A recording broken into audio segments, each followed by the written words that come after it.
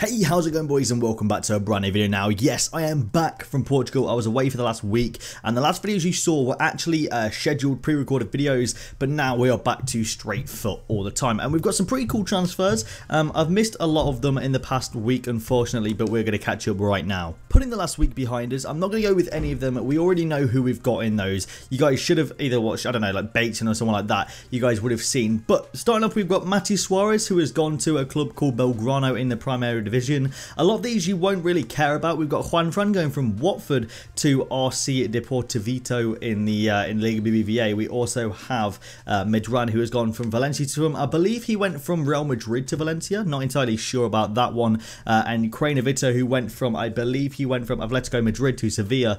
Um, I oh, Again, I'm not really too sure about these ones. The silver ones I'm not hugely sure about. We've got De Del Valle going to Borsa Boraspor, I believe it's pronounced, in the Super League. He was actually already in the Super League, so it wouldn't make too much of a difference his transfer, to be honest. Um, we have Schulz going from the Bundesliga to the O Bundesliga, pretty interesting there. Um, and we also have Verdi going to Bologna. This guy's been travelling back and forth in Italy. Um, been interesting to see whereabouts he is going to end up and hopefully he has a good season because he's got a sick looking card. Now we have Lucas Digne uh, in the left back spot. He has gone from PSG to Barcelona or Roma from PSG to Roma to Barcelona, I do believe. Um, pretty interesting for this guy. I think he's going to do pretty good. Is he the next Eric Abidal? We shall see. We also have Hubočan, who has gone from the Russian league to the uh, to Marseille. Uh, pretty cool transfer right there. We also have Baumont, who has gone from Ligue 1 to League 2.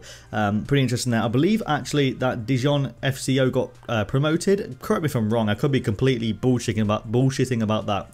We have DeSantis going from the Serie A to AS Monaco in the League 1. We also also have the big one. This is like the most important one. We have got Gökhan Töre going to uh, West Ham from the Super League. Pretty awesome transfer right there. I'll be using him in my BPL squad, definitely.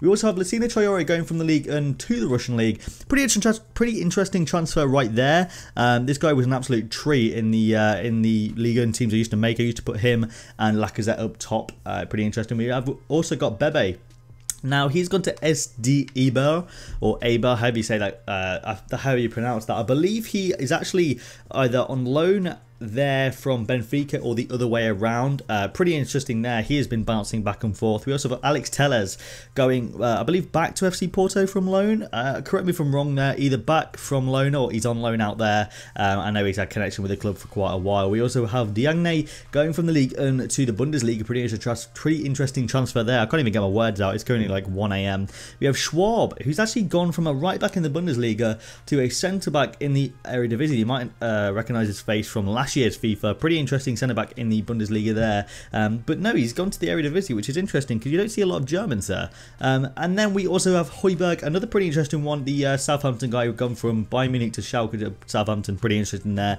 And that's all we have for this video, guys. If you guys did enjoy this video, leave a like down below. Subscribe if you guys aren't around here. And you should have daily FUT content from now on in.